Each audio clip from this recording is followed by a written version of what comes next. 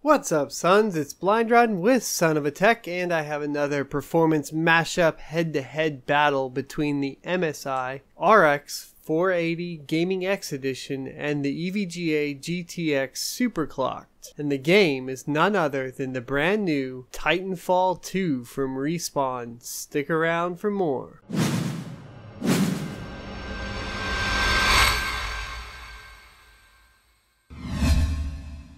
Alrighty, so this time around in Titanfall, we actually have a single player campaign. So the benchmark is actually going to be run in the single player campaign. It is going to be right after the first mission, so the pilot's gauntlet. And the mission, I believe, is called BT 274. And it's going to be right after that opening sequence when the Bobot or the Titan is kneeled down in front of you and you need to go get a power core for him. Instead of going to get the power core, you're going to turn tail and run. Well, first, let me clarify. There are going to be two enemies that spawn there to the left of that, and you're going to want to go kill those two enemies first so we don't have any crazy variables happening before we start the benchmark. Then we're going to turn around and run all the way back, and we're going to run to the far side of the waterfall and turn around. This is where the benchmark is going to start. We're not going to be sprinting or anything like that, so we're going to start from that point with the benchmark, and I'm going to be using Fraps because this is a DirectX 11 game. You'll walk straight and try to keep the reticle on the robot the entire time. As you go down the waterway, which I use as a pathway, will go to the left, which is also guiding you through the mission. So you'll go down that waterfall, go to the left, and then sprint and wall run, and then you'll jump onto the ledge and turn left, and you'll see a pathway to go through. Try to keep the reticle on the space between the roots. Once you kind of move into there, try to look smoothly to the right and continue down that path. You'll have one more wall, wall run, wall run. You'll have one more wall run and then there'll be two enemies that you can shoot and kill. It should end on that wall run as you're going to meet those enemies though, so you shouldn't have any variables there. This is a 60 second benchmark. The test bench is going to be an i7 3770K mated to an Asus Z77 Pro Thunderbolt motherboard. Details will be in the description below. A couple of interesting notes about Titanfall 2 that you might want to consider before we hop into these benchmarks. The ambient occlusion is going to actually be HBAO, just so you guys know exactly which one you're dealing with there. And while the frame rate says not capped and you can turn VSync off or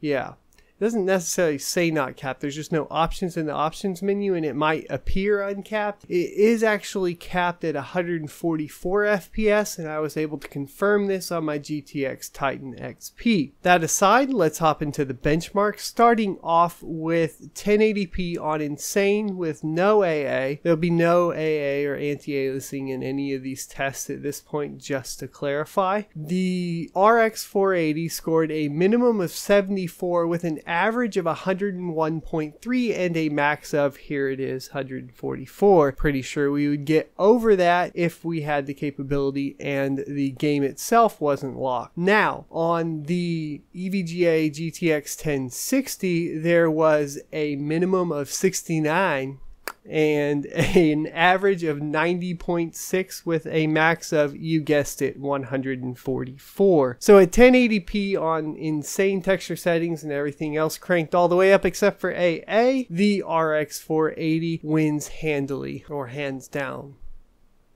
Not sure.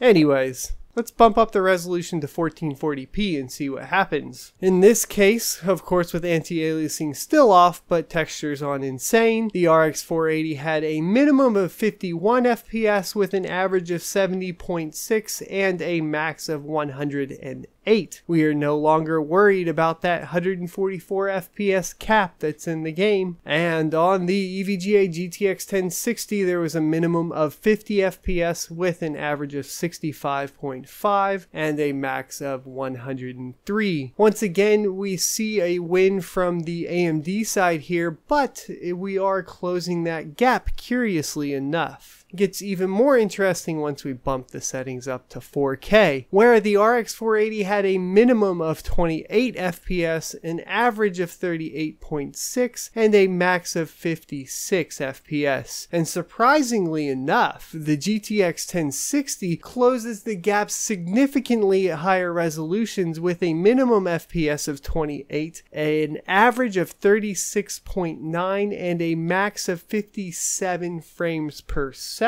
Now, this is cool because this is something we actually were used to seeing kind of flip flopped. Flip flop. This is something we were used to seeing flip flop. What I mean by that is in other games when the RX series first came out, especially DirectX 11 games, we were seeing the NVIDIA side win pretty handily at the 1080p settings and then start to lose out as we bumped up resolution. It's kind of odd that it's completely different and the sides have flipped in this case, especially considering that this isn't even DirectX 12. Even more intriguing is that earlier this year, or maybe if it was at the end of last year, the developers from Respawn had issued a statement saying that they weren't that impressed with the improvements of DirectX 12 and they felt that there was a lot of life left in DirectX 11 and that they could get significant performance increases out of DirectX 11. I would say that they have proved their point, but we aren't seeing crazy good 60 FPS numbers at 4K, and we're not even really necessarily seeing a very consistent 60 FPS at 1440p, and the engine is quite old at this point. That doesn't, however, mean that Titanfall 2 isn't a great game. It's just not going to be a staple in any PC gaming performance benchmarks by any means, especially with a frame cap of 144 FPS. While that's high, it's still capped. Hope you guys enjoyed this video and it helps you make a decision in purchasing a card or in this case maybe even purchasing a game. Please let me know what you think in the comments and don't forget to like and subscribe if you're interested in either one of these cards individual performance reviews that include a plethora of other games. Check them out up here and until next time I will see you next Tuesday.